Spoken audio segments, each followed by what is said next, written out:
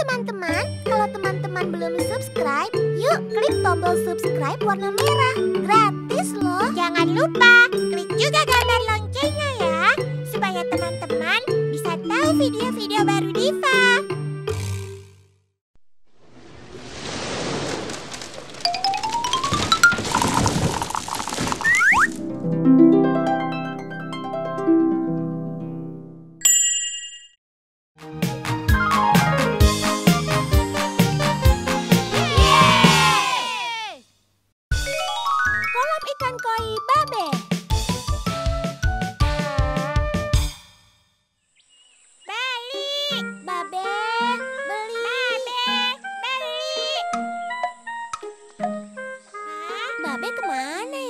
Sepi? Kita cari aja yuk.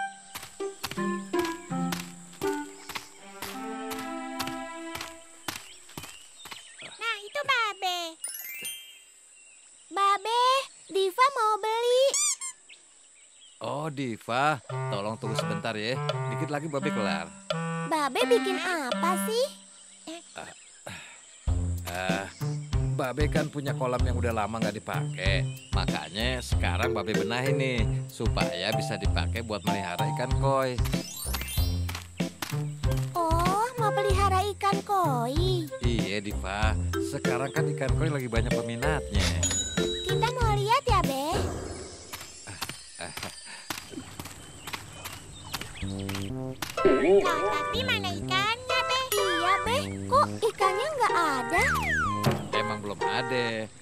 Nanti kalau udah kelar dibetulin, baru babe isi ikan koi. Oh, begitu. Diva, aku jadi penasaran nih sama kolam ini kalau udah jadi nanti. Iya, Pus. Aku juga penasaran. Nanti deh babe kasih tahu kalau udah ada ikannya. Nah sekarang kita ke warung dulu ya.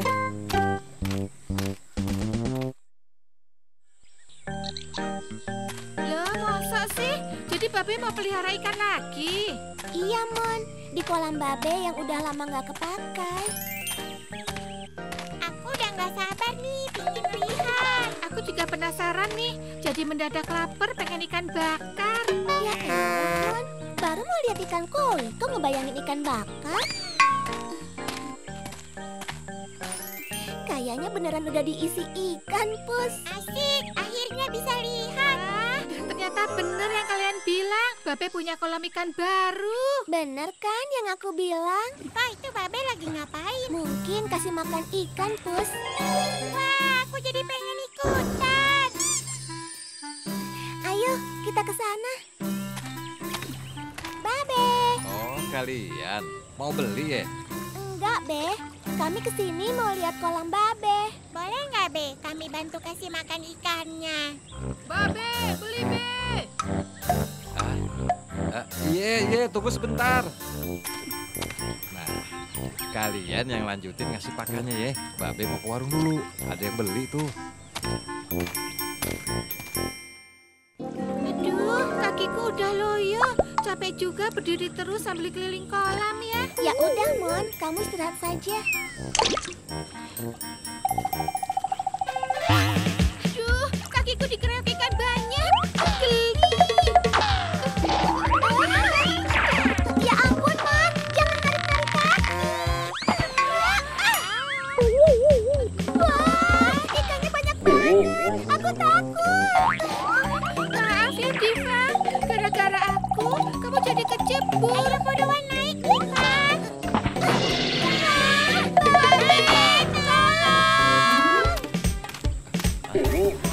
Ah, astaga, kalian kok bisa kayak begini sih?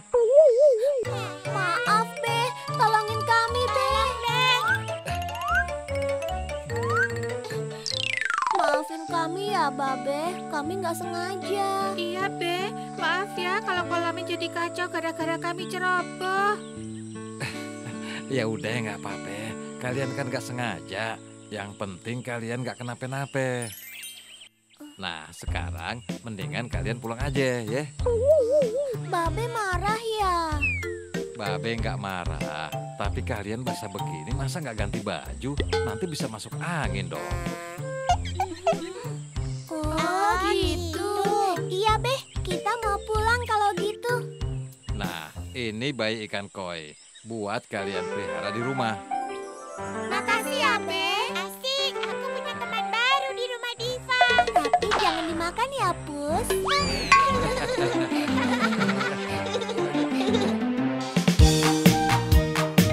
Halo teman-teman, subscribe tombol merah di bawah ini ya. Like dan share juga di media sosial teman-teman. Dan satu lagi, isi komentar,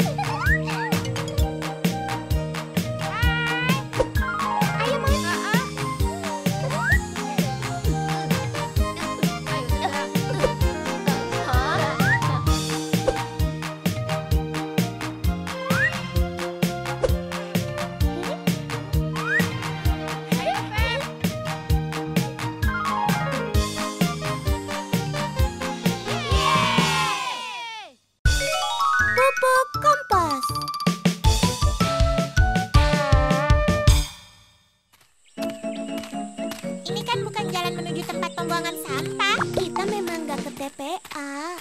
Terus sampah itu mau dibuang ke mana? Oh, sampah ini sampah organik. Om Ucok minta sampah ini. Hah? Untuk apa? Aku juga nggak tahu. Woi Diva,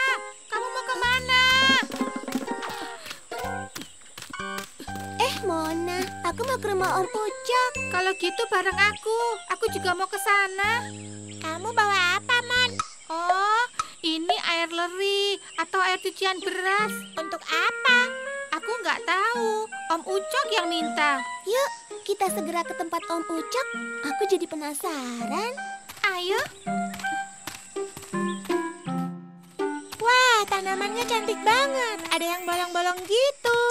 Hai Feby, kamu udah di sini? Iya, aku mau nganterin sampah organik untuk Om Ucok. Loh, sama. Sudah ketemu Om Ucok belum? Belum, dari tadi Beta mengagumi tanamannya Om Ucok. Cantik semua, subur lagi. Iya, semua daunnya mengkilap. Eh, kalian sudah datang. Om kira tadi siapa? Seperti ada orang yang bicara. Ternyata kalian. Kami bawa pesanan Om Ucok. Untuk apa sih Om sampah organik ini? Em, sebaiknya kalian ikut Om ke halaman belakang. Nanti akan Om tunjukkan sama kalian. Nah, bahan-bahannya sudah siap semuanya. Kita mau buat pupuk kompos. Tunggu kami Om Ucok. Hah? Om, ini sampah organik pesanannya. Aku juga bawa, Om. Wah, terima kasih Putu, Tommy. Sekarang Om akan mulai membuat pupuk kompos. Ini namanya kompos bag atau kantong komposer. Nah, nanti kantong ini akan kita letakkan di tempat teduh agar tidak kehujanan. Lapisan pertama yaitu tanah kompos atau bisa juga menggunakan jerami di bagian dasar kantong. Setelah itu kita masukkan sampah organik, lalu sampah coklat, sampah organik, sampah coklat, begitu seterusnya sampai penuh. Sampah organik itu sampah yang biasanya dihasilkan dari dapur. Misalnya kulit sayuran dan buah, batang kangkung atau bayam, ampas teh dan kopi, sisa nasi. Nah, karena Om jarang masak, jadi Om Ucok minta sama kalian. Wah, kalau di tempatku jarang ada sisa nasi, Om. Kan sayang menyia-nyiakan makanan. Itu bagus, Mon. Oh iya, jangan masukkan daging, tulang, permen, dan bekas daun hijau yang kena hama. Nanti pupuknya jadi tak bagus. Nah, sekarang waktunya memasukkan sampah coklat. Misalnya daun-daun kering, bubuk gergaji, jerami kering, pokoknya yang warnanya coklat dan kering. Begitu terus bergantian. Lah, terus air leriku untuk apa, Om? Air leri kita tuangkan untuk mempercepat proses penguraian. Jangan lupa untuk mengaduk sampah tiap tiga hari sekali. Kita bisa panen setelah pupuknya berumur dua bulan. Nah, kita ambilnya dari bawah. Lihat, ada bagian yang bisa dibuka. Kita ambil dan jemur. Nah, pupuknya siap digunakan. Jadi itu sebabnya tanaman Om Ucok semuanya subur. Coba bayangkan kalau semua orang mengolah sampahnya seperti ini. Apa yang akan terjadi? Yang jelas nanti TPA-nya jadi kosong. Iya benar, sampahnya jadi berkurang. Ya, kalian benar sekali. Kita bisa membantu mengurangi sampah dengan cara mengolahnya. Tapi Om, kalau mengaduk sampah itu apa nggak jijik? Kalau ada cacingnya gimana Om? Justru binatang-binatang itu membantu mempercepat proses penguraian. Makanya biar kita tetap bersih, selalu gunakan sarung tangan. Oh begitu. Ah, sebentar ya, Om terima telepon dulu. Iya, halo? Itu masih ada sampah organik. Yuk, kita masukin. Eh, tapi kamu kan nggak pakai sarung tangan. Nggak apa-apa, nanti cuci tangan. Ah, ada berita gembira. Tanaman janda bolong Om ternyata laku lagi. Wah, pasti mahal. Beta dengar janda bolong itu sedang diminati. Benar, apalagi punya Om daunnya sudah banyak. Tanaman janda bolong yang kayak apa sih? Ah, baiklah, sebentar, Om ambilkan.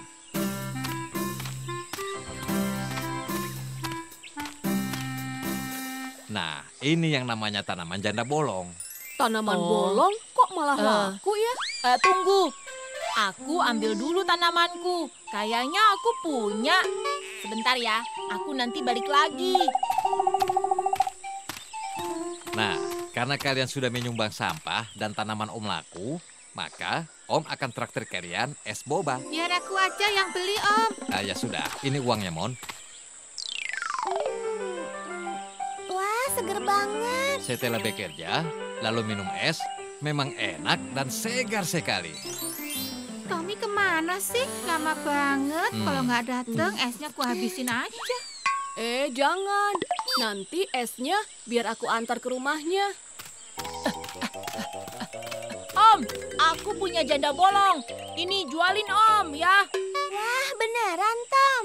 Lihat nih, bolongnya banyak. Maaf ya, Tom.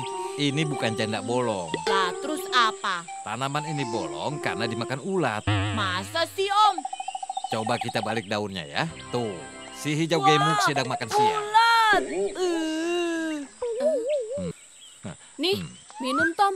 Obat kaget. Untung Ah. ulatnya bukan ulat gatel. Ye, boba. Makasih, Put. Kalau kalian berminat menanam tanaman hias, nanti Om akan ajari kalian sampai bisa. Wah, beta mau. Aku nyumbang air leri. Aku juga akan menyumbang sampah organik.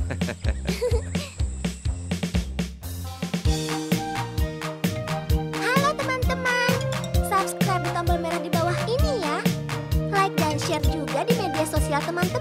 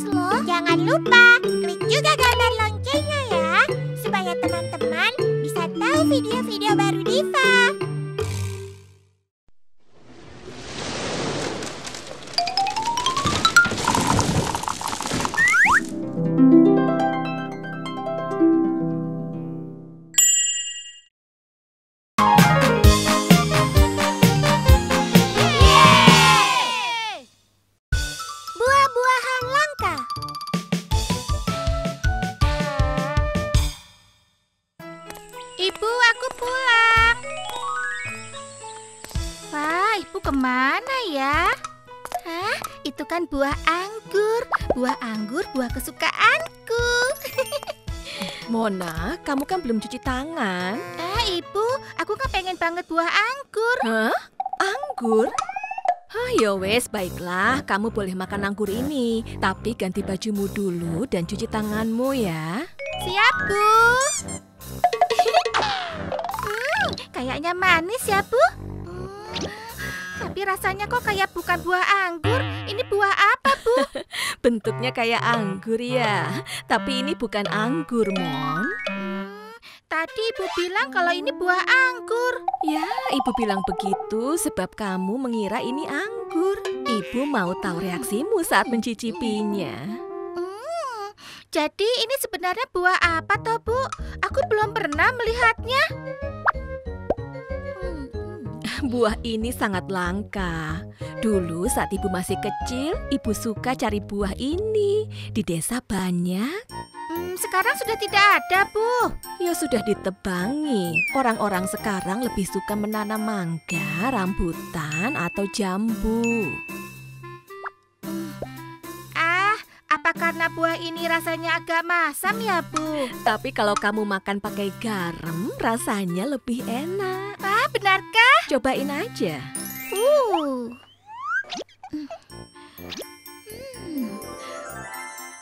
Jadi lebih enak. Ada manisnya, asam, sama asin. Nano-nano namanya. Bu, buah ini apa namanya? Namanya juwet atau jamblang. Ah, boleh nggak aku tunjukin sama Diva? Ya boleh. Tadi di pasar ibu beli banyak kok. Asik. Begini aja, nanti kalau gulanya udah datang, Babe telepon ibu kamu ya. Sekarang kebetulan gulanya lagi habis tuh. Iya, Beh. Yuk, Pus.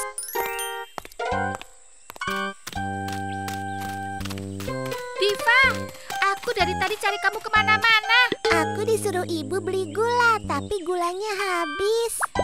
Aku mau nunjukin sesuatu sama kamu, Diva. Menurut kamu ini buah apa, Pus? Anggur ungu. Kamu mau buah ini, Diva? Em, tapi bentuknya lebih lonjong. Aku jadi ragu. Coba icipi dulu. Hmm, rasanya manis-manis asem.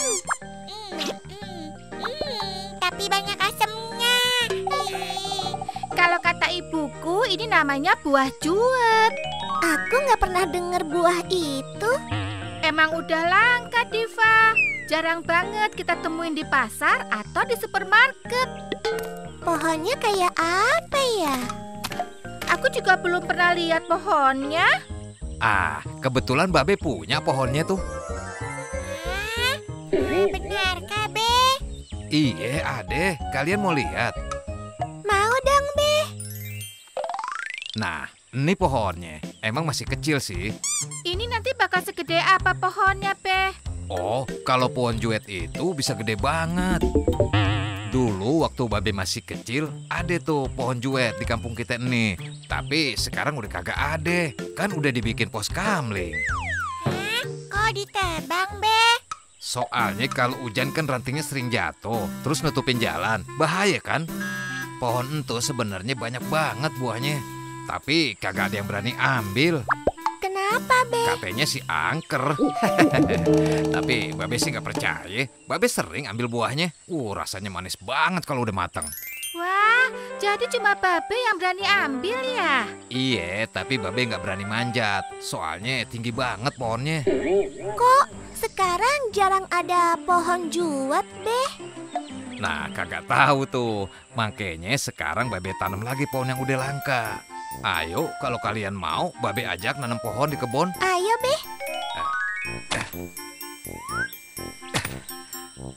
Nah, lobangnya udah jadi. Sekarang tinggal kita masukin bibitnya. Yuk kita tanam. Hati-hati masukinnya. Cepat besar ya, supaya aku cepat tahu bentuk buahmu. Semoga tumbuh dengan baik. Beberapa hari kemudian, Diva, nanti ke warung Babe ya. Ibu tadi lupa membeli mentega. iya, Bu.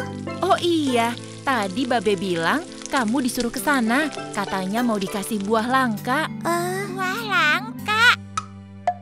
Oh, jangan-jangan pohon yang kita tanam itu sudah berbuah, Diva. bisa jadi. Wah, aku nggak sabar. Nanti kita pergi sama Mona ya. Babe, Babe. Eh, Babe mana ya? Apa kita langsung ke kebun belakang, yuk? Yuk kita lihat di sana. Hah, mana buahnya? Kok nggak ada ya? Ya tentu aja belum ada buahnya dong. Kan baru aja kita tanam. Katanya mau ngasih buah langka, Be. Iya, tapi buahnya bukan dari pohon babe. Tadi babe ke tempat teman babe yang ngasih bibit entu tuh. Nah, di sana ada beberapa pohon yang udah ada buahnya. Terus babe minta deh supaya kalian bisa lihat dan bisa nyobain buahnya. Ini namanya matoa, yang ini dewan daru. Nah, cobain deh. Wah, rasanya seperti rambutan, tapi juga kayak kelengkeng ya, Be. Ah, rasanya kayak stroberi. Aku suka. Nah, sekarang kalian udah nggak penasaran lagi kan? Iya, Be. Makasih ya. Kita harus rawat pohon ini biar nggak punah dan biar buahnya bisa kumakan. Setuju. Yuk, kita siramin pohon babe. Yuk, supaya cepat besar. Halo teman-teman. Subscribe di tombol merah di bawah ini ya dan share juga di media sosial teman-teman. Dan satu lagi, isi komentar, usulan, atau saran juga ya.